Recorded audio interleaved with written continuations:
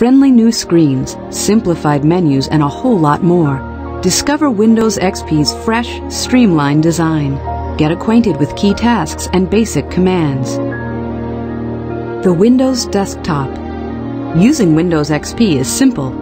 First, you'll see the large colored area on the screen called the desktop and the narrow band at the bottom called the taskbar. Everything you can do on your computer appears inside frames that are called windows.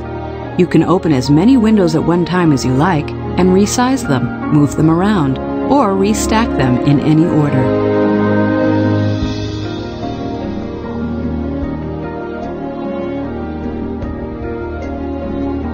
Icons. The small pictures you see on the desktop are called icons.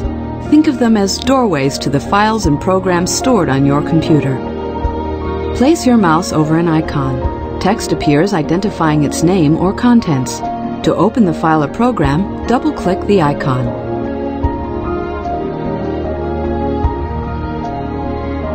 Shortcut icons, identified by the small arrow on the lower left, let you access programs, files, folders, disk drives, web pages, printers, even other computers. And because desktop shortcuts simply supply links to those files or devices, you can add and delete their icons without affecting the actual programs or files. The first time you start Windows XP, you'll see only one icon, the Recycle bin, where you can send files you wish to delete from your computer.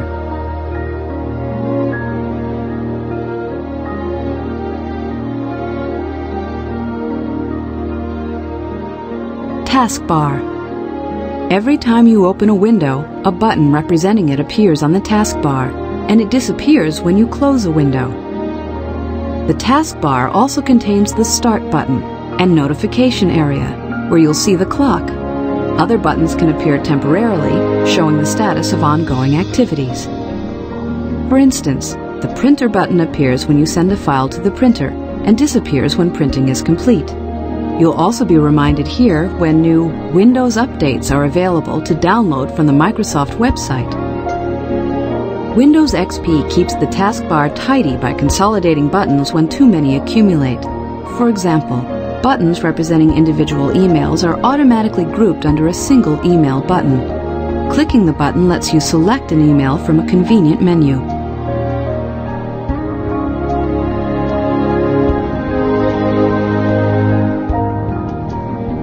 Start menu.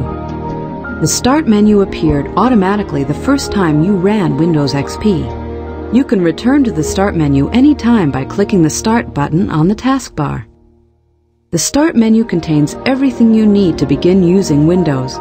You can start programs, open files, customize your system, get help, search for items on your computer, and more. Some commands on the Start menu have a right-facing arrow. That means additional choices are available on a secondary menu. Place your pointer over an item with an arrow and another menu appears. The left side of the Start menu updates with links to the programs you use most frequently. At the top left are fixed items, shortcuts to things like your internet browser and email program.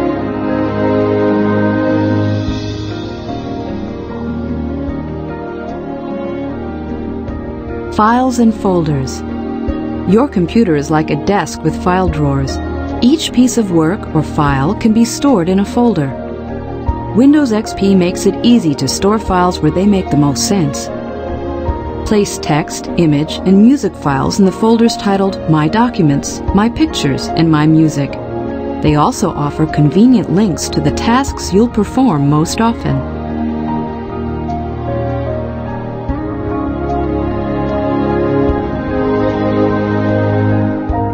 Windows. Windows display the contents of files and programs. Working with Windows is easy when you know the basics. The name of the window appears at the top in its title bar. Minimize a window to shrink it to a button on the taskbar. Maximize a window to fill the screen. Or restore it to its original size. Inside a window, browse the menus to see the different commands and tools you can use. When you find the command you want, just click it. If a program needs some information from you before it can complete a command, a dialog box appears.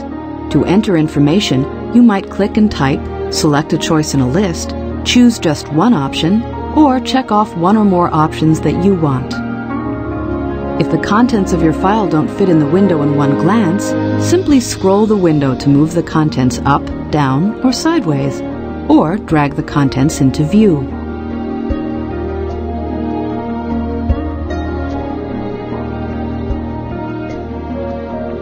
Control Panel Customizing your computer settings is simple with the Windows XP Control Panel. Just open it from the Start menu.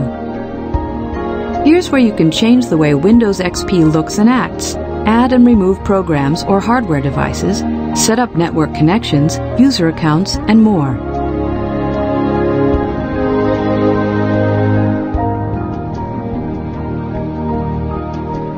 Ending your session. When you want to interrupt your Windows session and let someone else use the computer, go to the Start menu. That's where you can log off and switch users and Windows XP will be ready to welcome a different user. When everyone's finished, you can turn off the computer. The next time you log on, the welcome screen will be the first you'll see. Just click your name, type your password if you have one, and you'll be back at the Windows desktop.